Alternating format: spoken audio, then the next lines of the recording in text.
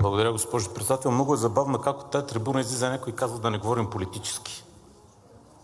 При положение, че първо това не е работата, второ това е политика, трето изборите са политически механизъм и четвърто, тук вече минавам на вътрешните убеждения, бяха направени две огромни фалшификации с изборите. Първата, когато се появиха ПП и ДБ и спечелиха толкова, колкото спечелиха. Обеден съм, че вота беше манипулиран тогава. А втория път, когато ние изпаднахме от парламента, там пък брутално за всички стана ясно, че вота е манипулиран. И Божанков, колкото и да се хили, като а, изпускам сравнението, искам един от вас да ми посочи, само факти ще дам. Един от вас в тая зала да посочи. Кога? В изборен ден. Последния половин час. Две партии си разменят местата огледално с резултатите, които имат половин час преди края на изборния ден. Един случай в България на избори. Друг факт. Фирмата Smartmatic в Венецуела факт признава фирмата със същите венецуелски машини, с които ние тук гласуваме, дето им викаме Мадуровки, което между другото е грях на ГЕРБ. Що те избраха тия машини тогава да се купят? Подозирам, че са имали идея да правят това, което вие направихте. Фирмата Smartmatic си признава за 1 милион манипулирани гласове. Те. Там им е забранено след това да оперират по този начин. И подобен тип машини са махнати. После, в това Народно събрание, в нормалната сграда, разбира се, не в партийния дом, се разигра прословутия диалог между Георги Свиленски и Кирил Петков. И това също е факт, че Кирил му е предлагал да изтеглят проекта за хартиите. Да, с хартиите се правят отвратителни манипулации, но се правят в някакви, как да кажа, поносими проценти. Вече, за съжаление, човек трябва да каже това. Докато с машините извършвате тотална подмяна. Мога да ви дам примери, които не че ви интересуват, но има хора, които са гласували на машина на ония два избора, когато вие се представихте изненадващо добре и на разписката им пише нещо друго от това, което са написали. И не ми излейте с номера, че са броят, защото са броят сега на последните избори. При това се взимаше протокола. И на разписката може да пише партия а, Дядо Мраз, а в протокола да пише партия Снежанка. И се взимаше протокола.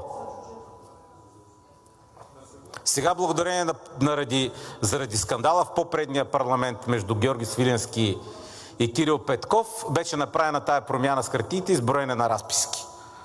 Още един факт.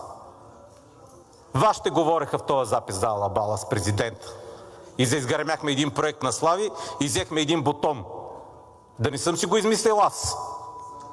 Това, че вие сте глупави и разбирате много от IT и се самоизлъчвате и се самозаписвате, какво да направя по този въпрос? Господин Йорданов. Както когато ПП се самоизлъчиха в старата сграда на парламента, обяснявайки как вече ние не сме били 100% черни, те били 100% бели.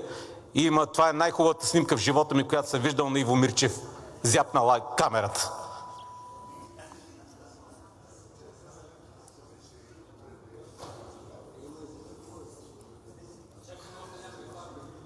Флаг.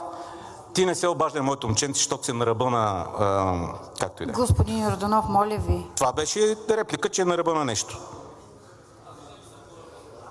После, Алексей Петров. Човека сглобил ви сглобката в манастирски комплекси, за да си имате манастирски съвет. В прав текст е заплашвал журналист да не, се, да не прави опит да провери системата на машините, могат ли да бъдат пробити. Го е заплашил. А това е човека, приятеля на татко Петко, чието аватарче е сина му, който па е тънка превръзка на срамните части на тая коалиция. Е, ме, това е положението. Още повече вие си ги казахте тия неща. Ние нямаме съмнение ли? Господин Йорданов. Сорс кода. Моля да... Склонен съм да си обера езика, ако това нещо ви. там му направите забележка да ни репликира. Господин Митев, ще ви помоля, нека да не репликираме от място, за да може да има нормален диалог в залата. Наистина. Ще имате възможност на трибуната също при спазване на някакви правила да направите изказване. Никаква гаранция няма, че Smartmatic са дали целия source. Никаква гаранция няма. А господин Божанов, точно вие е по-добре да пропускате тия теми, при положение, че сте били в правителството на ГЕРБ там при Бачварова, при положение че бяхте министър, при положение че сте в партия, която реално се облагодетелства от измамата и при положение че всяко едно ваше предложение в тази зала е свързано с писане на някакъв нов, нов софтуер, който отива към милиони нещо. И да се хилите, да не се хилите, това е истината. Така че да, тая комисия трябва да има. Надявам се се свърши работата. Ще видим докъде ще успеем. Само да ви светна, че не само вие имате експерти в IT сферата, и ще ви разглобим машините на съставни части този път.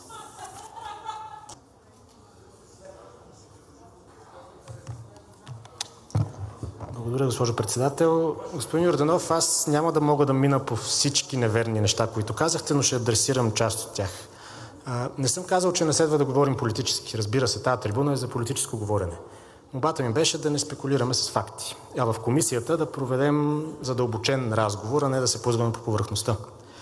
А, казахте, когато се появихте ПП и ДБ, тук трябва да уточня, че Демократична България има доста преди има такъв народ, а, така че трябва да сме коректни в това отношение.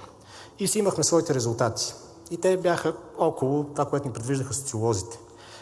Между другото, вие бяхте за машините и дори водехте усилието по тяхното прокарване. След като бяха прокарани, станахте първа политическа сила. Смятате ли, че колегите, например, от ГЕРБ тогава не са имали съмнение, че ето, и тъна си вкараха машините и после взеха първо място? Ми предполагам са имали, даже, даже го казваха.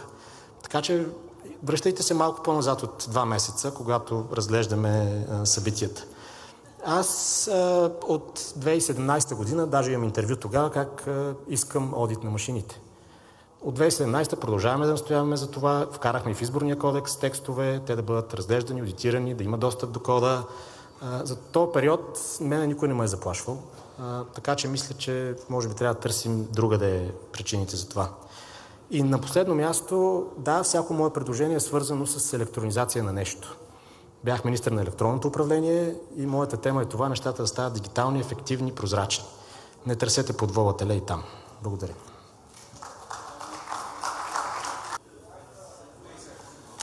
Уважаема госпожо председател, уважаеми колеги, господин Йорданов, понеже вие казахте няколко факта от тази трибуна, искам аз да кажа само два факта.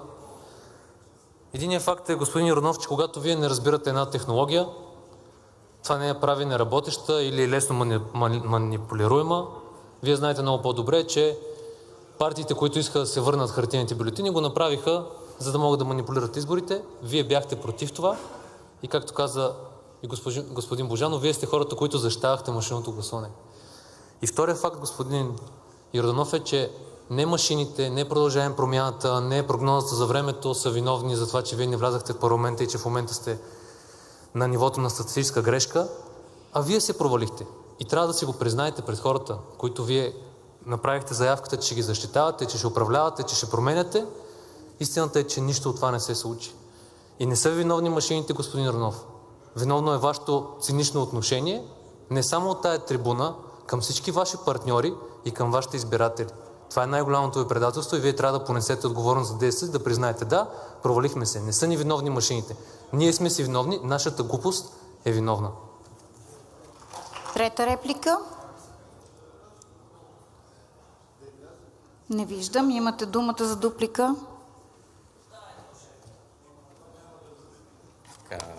Поред на номерата. Господин Божанов, изключително беше забавно да ви слушам как, как ще опровергавам факти. Говорихте с това, че сте били преди ПП политическа партия. Голям прас, да, били сте. Били сте така е.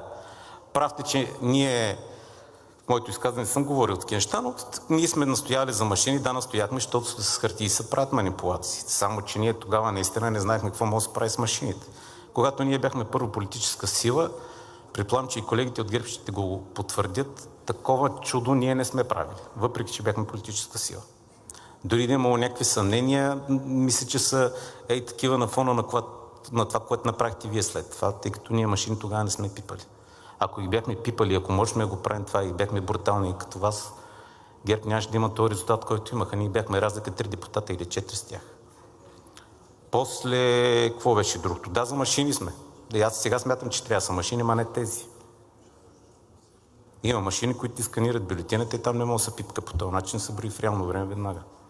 Тези видимо, както казах, не, не стават. Още нещо. Нищо не казахте по фактите, които казах. Нито за това, че Smartmatic са си признали, че са манипулирали избори в Венецуела. нито за това, че там има забранено си стиг са платили не знам колко пари за наказание, нито за това, че а, Кирил Петков и он е другия си казаха алабала с президента, изгърмяха един бутон на слави, унищиха му един проект. Нито за това, че Кирил Петков, кръчола на баща си, казва в същия запис, че ако всичко е както трябва, те са 10% с всичкото ви, каквото си имате.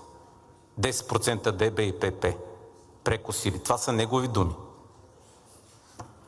Нищо не казахте за Алексей Петров, който е основател на сглобката, как се казва, главният монах в девичия манастир, в който е събрал едната девица Кирил Петков с другата девица и накрая също и ДПС и те вече не са били девици. Нищо не сте казали за това. Като изключиме хумора, който правя, нищо не казахте за Алексей Петров и за записа, заплахата върху журналиста, човека, който казва не пипай машините, човека, който подкрепя вас. Най-хубавото е, че от ПП подвикват най-често предателите. Един е ги напусна и тук, сега тук е един червен... Между другото, майките знали, че тук че не са на училище. Та, нищо не казахте за това. За Сорскода не казахте нищо. Въртяхте около политически изказвания. Нищо по конкретиката. А тези факти са си факти. А най-готиното е, че излязоха от вас. Не са спекулации. Не е да съм чул нещо, не е една жена каза на пазара. Вие го казахте. Не вие, а вашите лидери го казах. Сега за другия човек, дет се изказа, а, ние допуснахме грешки, да. Допуснахме грешки. Факт. А, също така най-голямата ни грешки, че се хванахме с такива шанаджии като вас. Факт е, че ние бързо осъзнахме и ви резнахме политическите зелки. Това беше едно от най-хубавите неща, които направихме. Сега е факт, че ГЕРБ и ДПС правят същата грешка с вас и ще си понесат последствията. Както, както така ще е факт, че когато дойдат следващите избори, ако са близки до реалността, пак ще си говорим кой каква отговорност е понесъл, къде ще бъде ние и къде ще бъдете вие.